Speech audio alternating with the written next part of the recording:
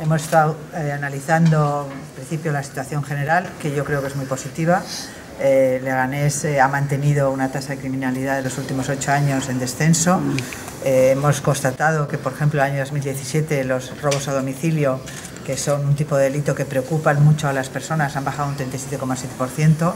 El incidente que ocurrió en la cubierta fue evidentemente un hecho aislado. Ahí sabemos que hay también ciertos problemas que el ayuntamiento está atajando en colaboración con las dos policías. Es una zona de, de copas de, del municipio de Leganés que a lo largo de los años ha ido evolucionando. En estos momentos hay un menor número de incidencias en el entorno, menos asistentes, menos problemas, pero aún así los vecinos están preocupados bueno, pues por algunos incidentes aislados que han ocurrido en los últimos días. Ya hay una dotación policial suficiente y bueno, está viniendo también en los fines de semana por parte de la Policía Nacional efectivos de la UIP cuando es necesario.